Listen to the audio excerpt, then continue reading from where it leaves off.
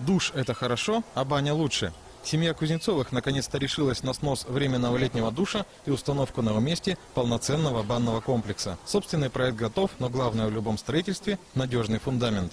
Татьяна Васильевна уверена, что сделала правильный выбор, обратившись за помощью в компанию «Свайнова». Это самый современный фундамент, и потом болотистой местности сваи лучше держат.